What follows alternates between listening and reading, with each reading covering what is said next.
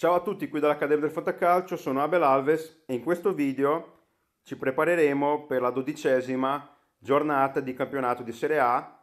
Il campionato secondo me più interessante insieme alla Premier League quest'anno, un campionato che ci sta sorprendendo tantissimo e andremo a vedere insieme qua le probabili formazioni e anche la formazione migliore possibile che puoi mettere in campo, quindi chi schierare.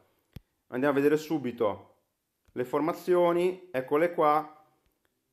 eccola qua, la formazione migliore che puoi schierare in questa giornata di campionato. Leggiamola insieme, questo algoritmo di questa applicazione FantaHelp ci sta dando una mano grossa anche a fare questi video perché sono molto d'accordo sulle scelte che avete, che avete qui davanti agli occhi perché abbiamo Stracoscia che sta facendo molto bene con la Lazio e che giocherà in casa contro il Lecce, quindi è molto probabile che faccia veramente bene. Gosens, Manolas, Milenkovic, difensori che stanno facendo un campionato eccellente, anche se Manolas con il Napoli, insomma il Napoli sta subendo un po' di gol, però Manolas gioca sempre bene. Centrocampo, Gomez, Sensi, Alberto, Luis Alberto, Pjanic, Berardi che è un attaccante trequartista, Immobile e Muriel una squadra, secondo me, che può segnare tanti gol e può fare veramente bene, con un voto complessivo medio di 87, quindi sappiamo che se mettiamo questa squadra qua abbiamo il potenziale di fare in ogni giornata 87 punti, che non sono pochi. Vediamo adesso le probabili formazioni. Andiamo a vedere dal sito Fantacalcio, possiamo scegliere qua anche Sky Sport e Gazzetta dello Sport, ma iniziamo dalla prima partita, quindi dalla partita di venerdì 8 novembre alle 20.45, Sassuolo-Bologna. Entrambe le squadre non stanno facendo un campionato brutto, diciamo così, il Bologna sta facendo anche un bel campionato, ha iniziato molto bene, adesso sta, diciamo, crollando un po' anche perché ha difficoltà in difesa, alcuni infortuni come Tomiasu e Dix o Dykes, che è un giocatore molto interessante olandese, e Tomiasu fino adesso ha fatto molto bene, questo giapponese che è una, una delle sorprese del campionato, ma che rientrerà presto.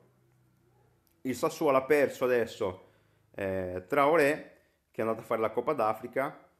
ma si ritrova comunque con un centrocampo e un attacco speciale, perché Boga in attacco sta facendo un'ottima, anche lui un'ottima sorpresa, sta facendo molto bene. Caputo è una sicurezza ormai della Serie A, è vero che non è una, un giocatore di esperienza, ma in Serie A questa è soltanto la seconda stagione, ma sta facendo molto bene. Berardi è un giocatore incredibile che non, è, non ha la costanza di altri giocatori, ma quando è in giornata sappiamo che segna tanti gol. Duncan è ritornato a buoni, buoni livelli, Locatelli, ex Milan, non sta facendo male, Magnanelli un po' vecchiotto ma saprà difendersi anche in questa giornata qui.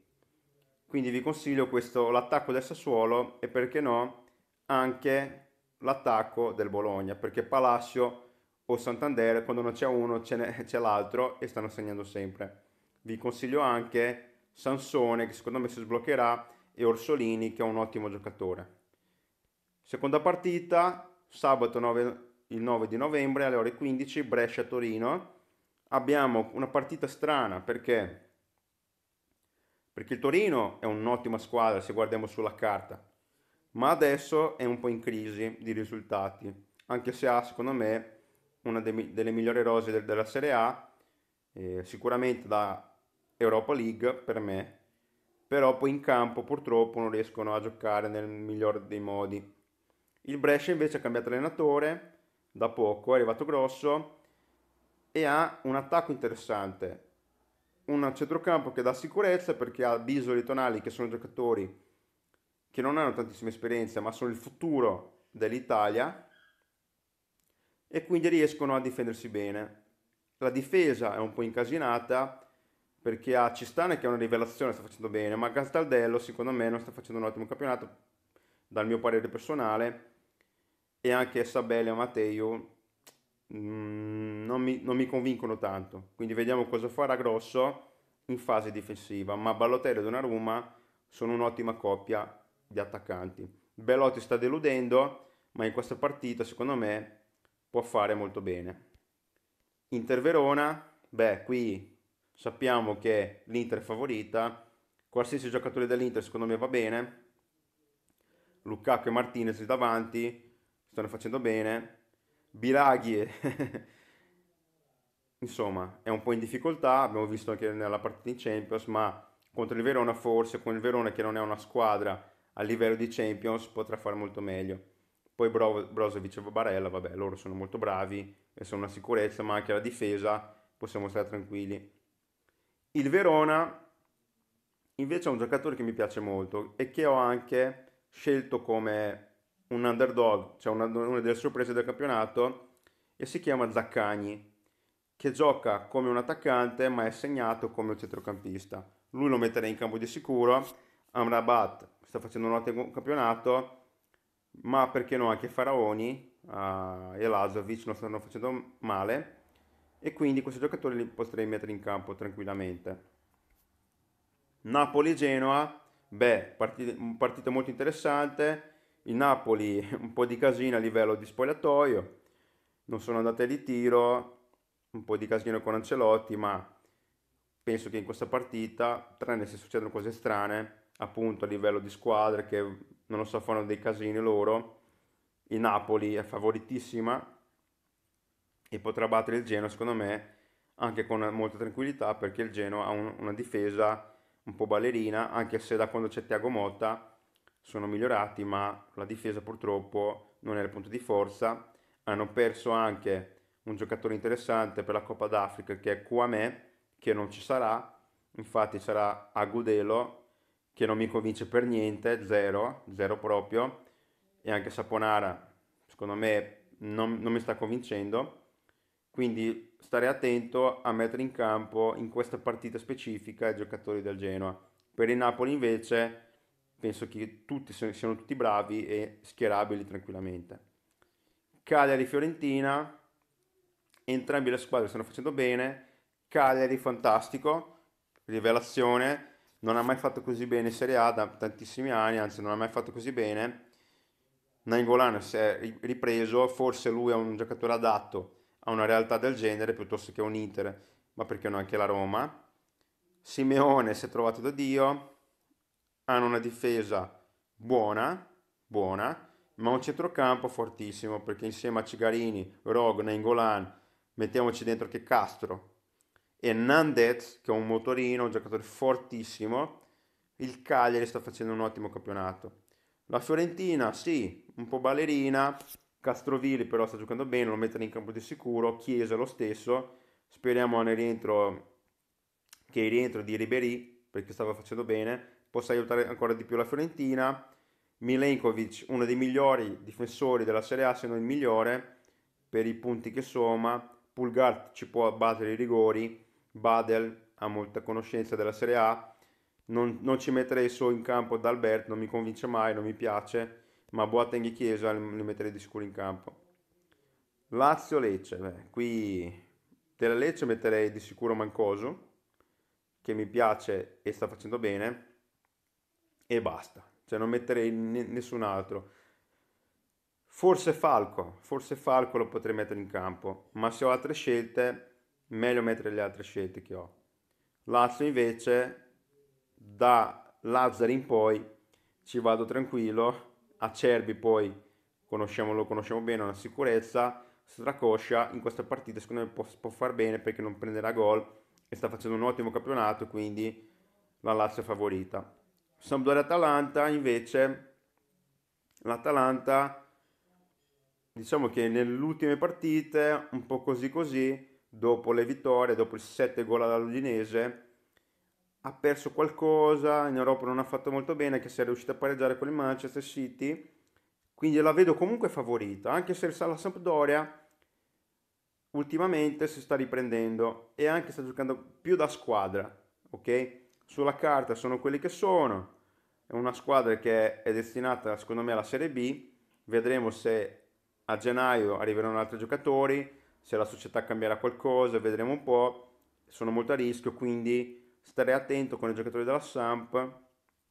dell'Atalanta invece, Gosens fantastico, miglior difensore insieme a Milenkovic, Malinowski una sorpresa incredibile, anche lui bravissimo, poi Gomez una sicurezza anche lui e Muriel sta facendo molto bene visto che Zapata ancora è fuori. Udinese Spal, qui non capisco bene una partita insomma, che non riesco a leggere bene chi è favorito e chi no. In campo ci metterei Okaka nel, Torovski che ha sbagliato qualche gol ma lo metterei in campo e adesso si è ripreso anche De Paul. De Paul che è un giocatore secondo me molto interessante anche per una squadra, una grossa squadra di Serie A, una delle big che non stava facendo un ottimo campionato ma che si è ripreso un po' nell'ultima giornata e forse non era in forma anche a livello mentale si doveva sbloccare, speriamo che sia così per il proseguo del campionato. Spal invece mettere in campo di sicuro Kurtic, che mi piace molto, non sta facendo un, una stagione meravigliosa, ma ci può regalare un gol, un, gol, un assist di sicuro, anche in questa partita qua. Parma-Roma, questa partita qua secondo me sarà quella con più gol, perché gli attacchi, cioè l'attacco della Roma e l'attacco della Parma sono in formissima leggiamo i nomi Kulusevski, Cornelius, Gervigno contro Pastore, Clivert, Gecko, ma nella Roma sappiamo che anche Zaniolo ti può segnare, ti può fare un assist perché è il miglior calciatore, adesso ve lo confermo, per me è il miglior giocatore italiano della Serie A, anche se è giovanissimo, anche se deve imparare molto, per me è il miglior giocatore italiano della Serie A. Quindi è una partita apertissima, non metterei i portieri perché secondo me saranno, ci saranno tanti gol, ma non so chi potrei escludere qua, forse Dermacu, forse non lo so Fazio che non mi sta convincendo, ma tutti gli altri, anche i difensori, per esempio un Darmian, un Pezzella, un Kolarov, Spinazzola, ma anche Smalling, possono segnare, quindi non escludere nessuno qua. Se hai un giocatore di queste due squadre, mettili in campo perché faranno bene. Juventus-Milan, ho letto oggi che Benasser insomma, ha dichiarato che il Milan può battere la Juve, sono un po' scettico, sì, ha poche probabilità di farlo, però perché no, se ci credono, se ci impegnano, ci può, ci può essere anche questa minima possibilità, ma la cosa importante per il Milan è crederci, perché loro sono proprio a livello mentale bloccati, perché se guardiamo la squadra sulla carta non sono una squadra da Serie B, cioè non sono una squadra da appunto lato destro della classifica, come sono in questo momento specifico del campionato. Quindi sarà una partita durissima per il Milan, della Juve fa, fa, più che favorita, ci metterei qualsiasi giocatore perché tutti possono segnare, anche quelli che vengono dalla panchina come Bernardeschi, come Bentancur, come Douglas Costa, come Higuain, sono giocatori che li metterei lì comunque perché se entrano possono segnare. Del Milan non metterei difensori, ma da Benasser in poi li metterei tutti perché anche loro stanno facendo bene e anche Cenaloglu che non mi piace come calciatore, mi sta sorprendendo ed è uno dei migliori al Milan. Bene, per oggi, per questa giornata basta così. Ci vediamo alla prossima giornata di campionato e per altri video qui sul canale mi raccomando, se ti è piaciuto questo video metti un like, lasciaci un like, seguici e ci vediamo presto al prossimo video. Un abbraccio a tutti, ciao!